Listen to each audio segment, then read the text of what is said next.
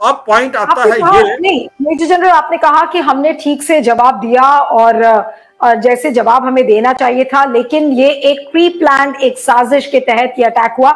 मैं रंजीत जी के पास अब आऊँगी I come back to you again Ranjeet ji मुझे ये बताइए कि आज क्या सरकार से इस चीज़ को लेकर सवाल नहीं पूछने चाहिए कि आखिर घुसपैठ हुई तो हुई कैसे?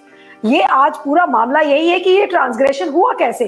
क्या हम इस चीज़ को सोचकर शान बैठ जाएँ कि ये देखिए ये तो ट्रांसग्रेशन इस तरीके के होते रहेंगे और ये इससे इसी तरीके से चाइना कॉन्स्पिरसी हमारे साथ करता रहेगा लेकिन हम आ, हम चुपचाप ऐसे बैठे रहेंगे।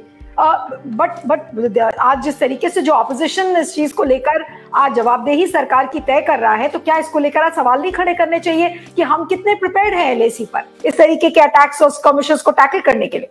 जी रंजीत जी। देखिए भारत और चीन के बीच तीन हज़ार चार सौ अट्ठासी किलोमीटर की वास्तविक नियंत्रण रेखा है और इस पूरे इलाके पर चप्पे चप्पे पर भारतीय जवानों को तैनात रखना मुमकिन नहीं है। देखिए यांगसे तवांग के तवांग सेक्टर के यांगसे के जिस इलाके से घुसपैठ की खबर आई है वहाँ पर का, काफ़ी बर्फबारी हो रही थी बर्फ़ से ढका हुआ था पूरा इलाका और इस वजह से भारतीय सैनिक वहाँ से हटा कुछ कम कर दिए गए थे। ने देखा कि भारतीय सैनिक यहाँ से कुछ हटाए गए हैं और उसका फ़ायदा उठाने के लिए चीन ने अपने तीन सौ सैनिकों को वहाँ भेजा। यांगसे का एक है, जहाँ पर एक नाला था नाला के अंदर की ओर भारत के सैनिक है और नाला के बाहर के सैनिक तैनात हैं।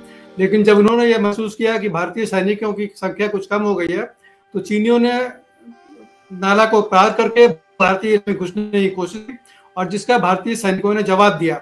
चीनी सैनिकों को वापस जाना पड़ा, भारतीय सेना के और चीनी सेना के कमांडरों के बीच। और जिसमें तुरंत चीनी सेना यह मान गई कि उन्हें वापस जाना चाहिए और वापस चले गए।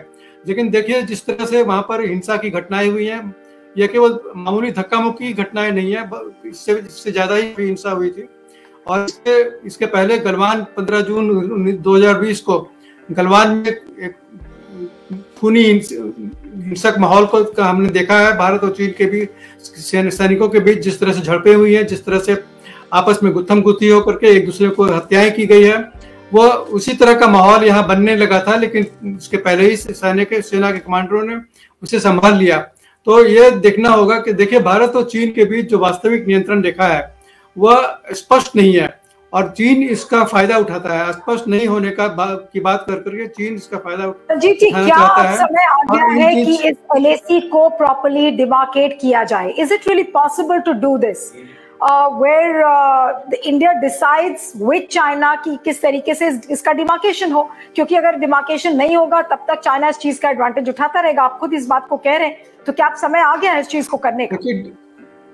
देखिए डिमार्केशन को लेकर के भारत हमेशा चीन पर दबाव डालता रहा है, लेकिन चीन इस मसले को टालता रहा है।